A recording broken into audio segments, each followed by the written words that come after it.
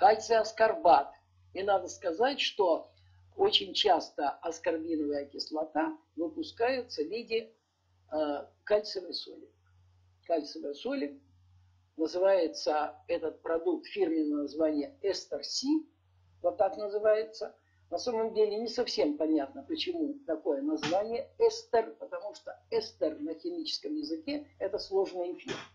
Эстер, эстеры. Но так назвала какая-то фирма, но на самом деле это э, аскорбат кальция. То есть кальциевая соль витамина С, по сути. Ну, не витамин С, а аскорбиновой кислоты. Зачем это сделано, я думаю, вы догадываетесь. Это для того, чтобы нейтрализовать кислые свойства аскорбиновой кислоты. Она кислая, очень кислая примерно такая же кислотность у аскорбиновой кислоты, как и у уксусной. Вот представьте себе, что вы принимаете уксус. Понимаете, что это такое раздражение желудочно-кишечного тракта. Поэтому ее переводят в форму кальциевой соли, тогда она имеет нейтральную реакцию. Приветствую.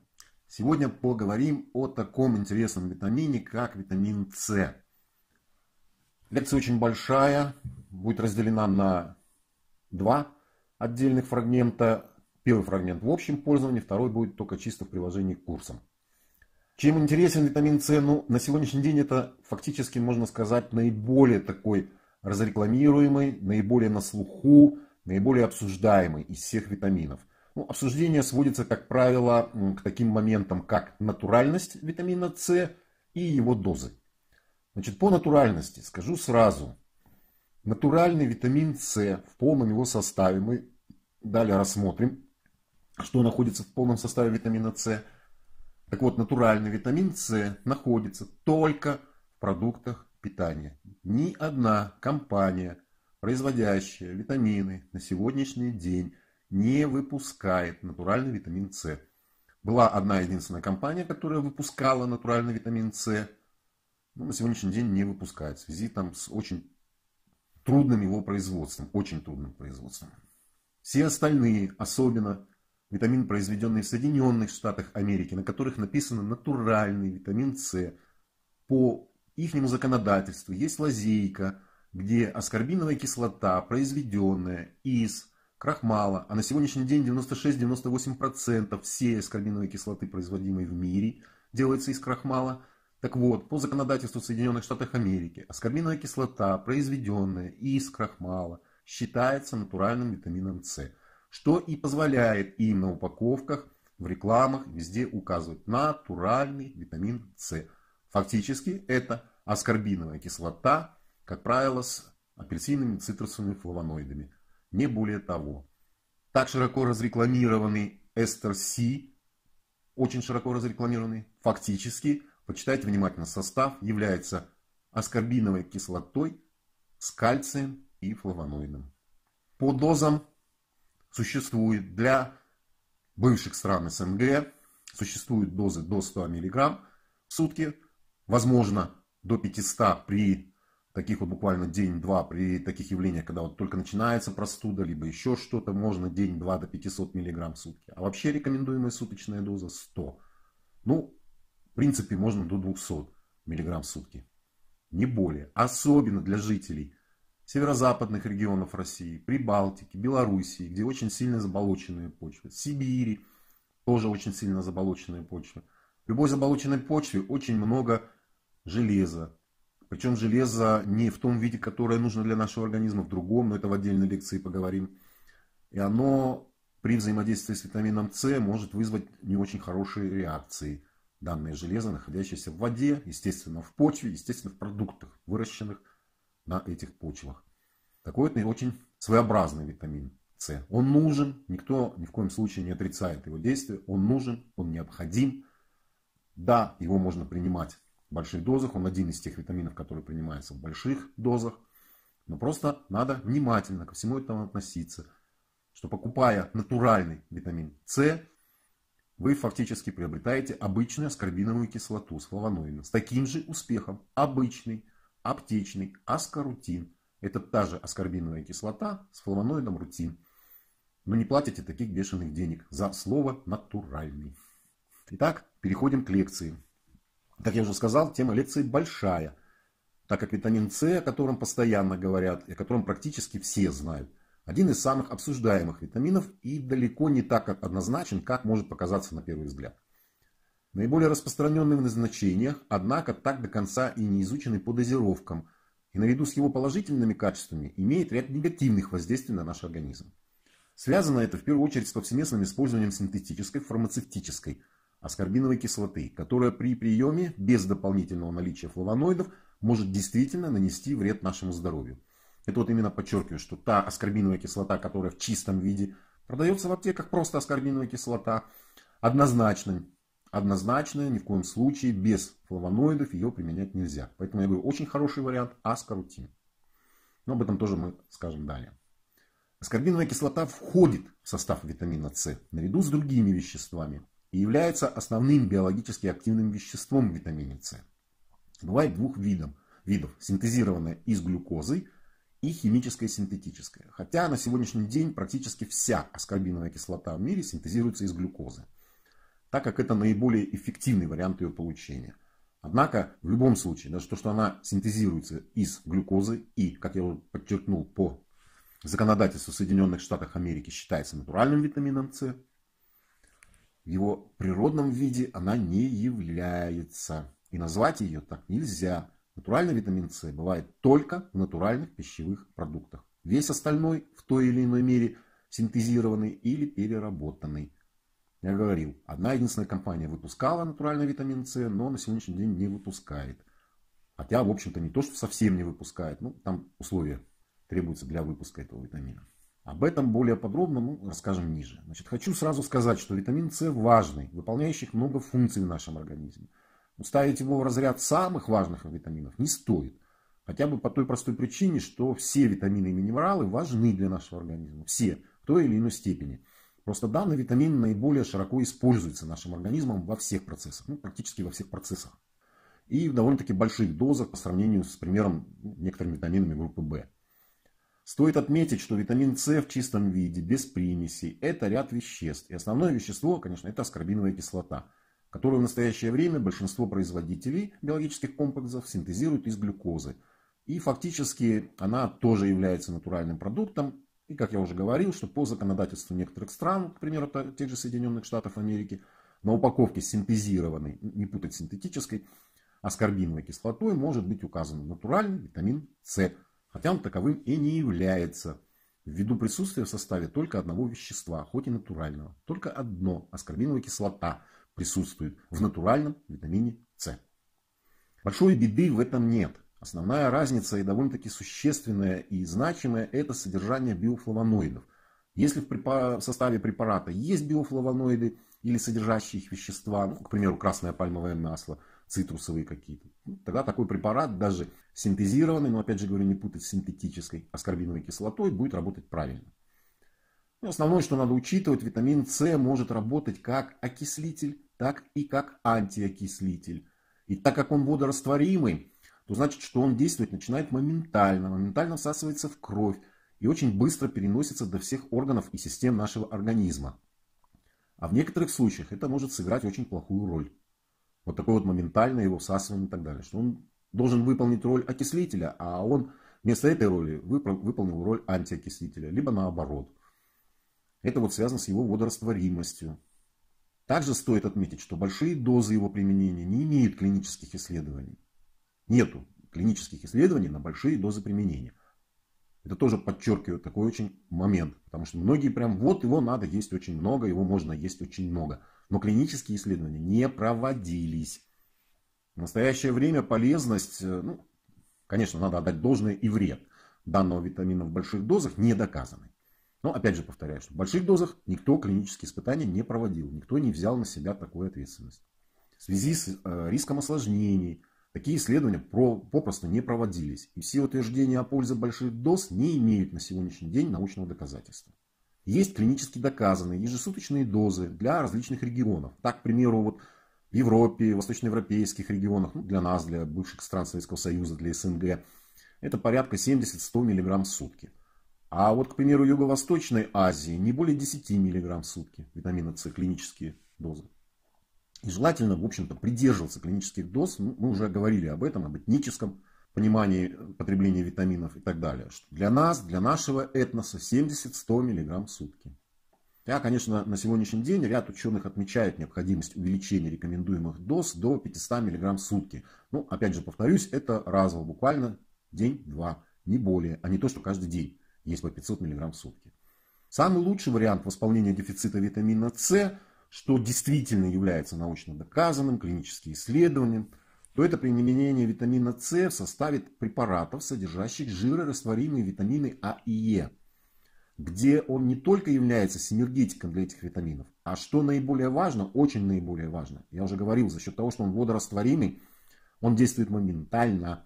Так вот, за счет жирорастворимых витаминов в составе таких препаратов, сам витамин С доставляется до органов нашего организма значительно медленнее, меньше разрушается при взаимодействии с железом и кислородом, находящимся в нашей крови, и как следствие приносит больше пользы. Вот опять же, возвращаясь к тому, что жителям северо-западных регионов, Сибири, Прибалтики, Беларуси стоит потреблять витамин С в составе жирорастворимых витаминов А и Е. Вот такой вот А, чтобы были витамины жирорастворимые А, С и Е. Вот тогда он принесет наиболее большую пользу и меньше риска вреда от витамина С. Уже вот такой вот, ну, сам, сами по себе витамины А и Е, конечно, мы по ним поговорим отдельно, они в не очень больших дозах применяются – но витамин С, еще раз подчеркну, что лучше всего принимать вот э, вместе с этими витаминами, жиросодержащими. Тем не менее, несмотря на отсутствие клинических исследований, витамин С считается безопасным, даже в больших количествах, так как наш организм выводит неиспользованные остатки витамина. Ну, витамин выводится с мочой. С одной стороны, конечно, это очень хорошо, нет риска передозировки. Ну, с другой стороны, я уже вам говорил, что если излишки и выводятся, не если, а выводятся они с мочой – ну, стоит ли тратиться на обогащение своей мочи витамином С? Естественно, обогащение компаний, выпускающих данный витамин в больших дозах. Стоит ли тратить на это деньги? Ну, решать вам. И все же, несмотря на то, что витамин С выводится с нашего организма, чрезмерное употребление витамина С может привести к диарее, тошноте, рвоте, изжоге, так как все-таки кислота, вздутие живота, спазмы, головная боль, бессонница, может привести к камням в почках. Ну, теперь поговорим о витамине С более подробно. Общая характеристика витамина С, или как его еще иногда называют аскорбиновая кислота. Хотя, как мы говорили выше, это немножко разные вещества. Хоть и основное действующее вещество в витамине С является аскорбиновой кислотой. В Эдинбурге в конце 18 века студент-медик обнаружил, что цитрусовые эффективно лечат от цинги. И лишь спустя два столетия выяснили, что веществом, лечащим мучительную болезнь, является аскорбиновая кислота. Именно аскорбиновая кислота. Ну или витамин С. Лучше, конечно, в природном его виде потреблять. Синтезировать удалось его только в 1928 году из лимонного сока. Аскорбиновая кислота представляет собой органическое соединение родственной глюкозе в виде белого кристаллического порошка, очень сильно кислого вкуса выполняет биологические функции восстановителя и кофермента некоторых метаболических процессов, является антиоксидантом. Ну, об этом я тоже говорил, что очень хорошим антиоксидантом она будет являться только вместе с жирорастворимыми витаминами А и Е. Вот тогда она действительно будет являться очень хорошим антиоксидантом. Витамин С или аскорбиновая кислота является растворимым в воде витамином. Очень важен для роста и восстановления клеток тканей, десен, кровеносных сосудов, костей, зубов, способствует усвоению организмом железа, ускоряет выздоровление. Его польза и ценность велика для защиты от инфекций. Он действует как стимулятор запуска иммунных процессов. Ну и в качестве пищевой добавки обозначается как Е300. Суточная потребность человека в витамине С зависит от ряда причин. Возраст, пол, беременность, климатические условия, вредные привычки, этническая принадлежность, место рождения, место проживания. Даже не столько этническая принадлежность, сколько место рождения – где родился он, где родились его родители, бабушки, дедушки и так далее. Это очень сильно накладывает свой отпечаток вообще на прием всех минералов и витаминов. Если вы родились на территории бывшего Советского Союза и даже переехали жить в Америку, в Соединенные Штаты Америки, вам надо принимать дозы, как для жителей бывшего СССР. Что у них другие дозы по витаминам, по минералам, у них совершенно другие дозы, отличающиеся от нас. Для ихнего этноса, не для нас. Так вот, среднесуточная потребность для нас, для нашего этноса 70-100 мг. Курильщики имеют более повышенную потребность в витамине С. Ну, так как ученые говорят, что одна выкуренная сигарета разрушает 25 мг витамина С. Но это не значит, что если вы пачку выкуриваете в день, выкурили сигарету и таблетку аскорбиновой кислоты. Выкурили сигаретку и таблетку аскорбиновой кислоты. Я уже говорил, что это, в общем-то, может привести к не очень хорошим последствиям. Особенно как водорастворение. Витамин С относится к самым неустойчивым витаминам. Он чрезвычайно быстро окисляется. И если приготовить раствор витамина С даже в одной из его форм, аскорбиновой кислоте, и оставить его открытым буквально даже вот совсем на непродолжительный срок, чтобы он воздействовал с кислородом, то там останется буквально всего несколько процентов этого витамина, той же аскорбиновой кислоты. Особенно при контакте даже со следами железа, следы железа. Плохо отмытая посуда, где есть железо после применения ножа, вилки, ложки.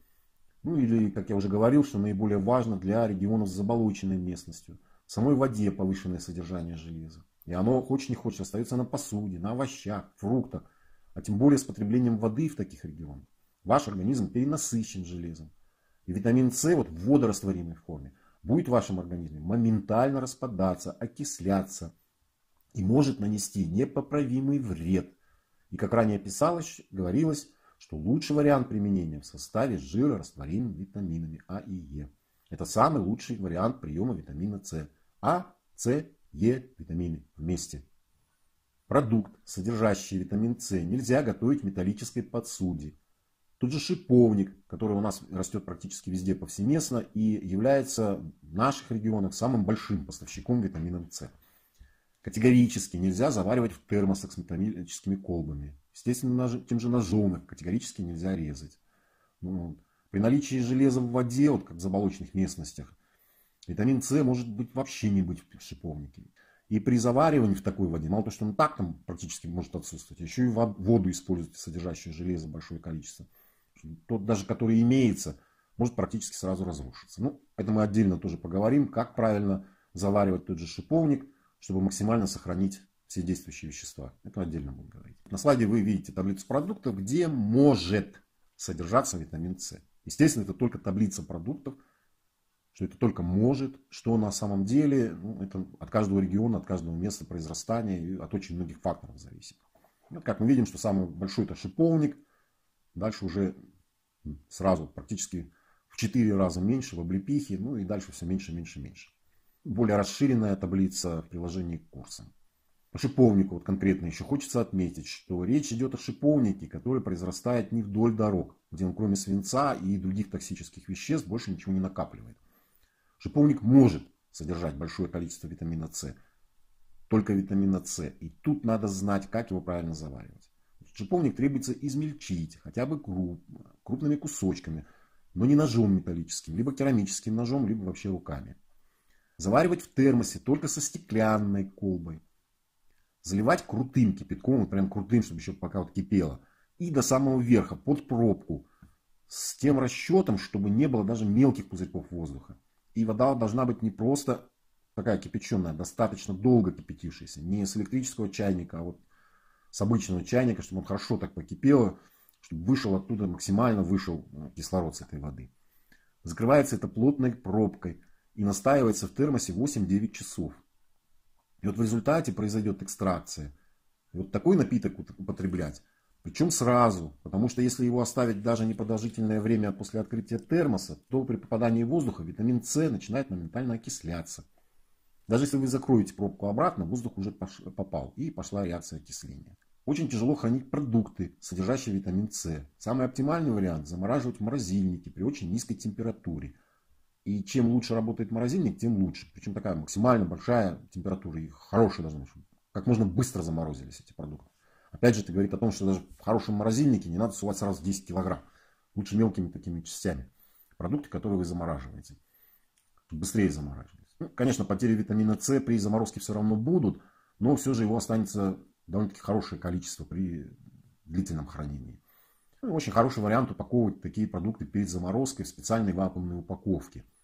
В том же цепторе, я знаю, есть э, специальная такая возможность упаковать вакуумные вот эти упаковки и замораживать. Очень хорошо, кстати. Уменьшает доступ воздуха и э, можно даже не просто замораживать, а обычно хранить в темных местах, помимо морозильников, в холодных регионах с продолжительной низкой температурой воздуха, ну, без резких оттепелей. В Сибири вот хорошо это делать. Потому что у нас, вот как в Беларуси, конечно, то холодно, то тепло нежелательно. Лучше тогда в морозилке. В любом случае, надо учитывать, что даже в вакуумных упаковках и при достаточно низких температурах витамин С со временем теряет свои свойства. И через 2-3 месяца после снятия плодов или ягод содержание витамина С в них практически равно нулю. Это эту особенность надо учитывать. И в принципе благодаря своей способности легко вступать в окислительные процессы он и работает витамин С. Потеря витамина С может возникнуть при неправильной обработке пищи и длительном хранении готовых пищевых продуктов. Сохранность витамина С обеспечивает правильная кулинарная обработка овощей и плодов. Опять же мы говорим о тех, которые только сорваны сразу.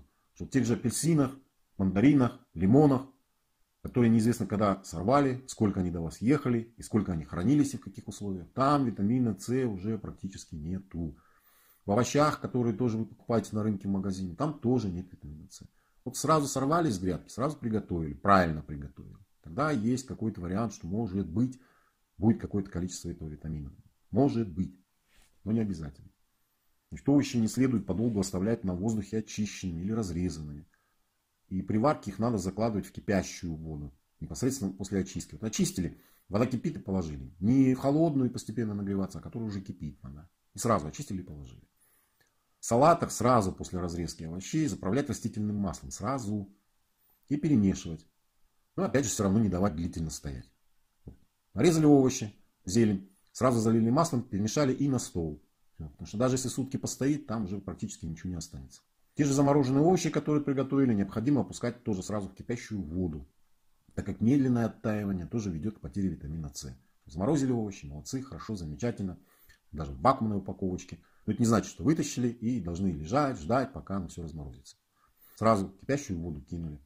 Меньше будет вероятности потери витамина С. На этом Первая часть лекции закончена. Вторая часть лекции будет в приложении к курсам.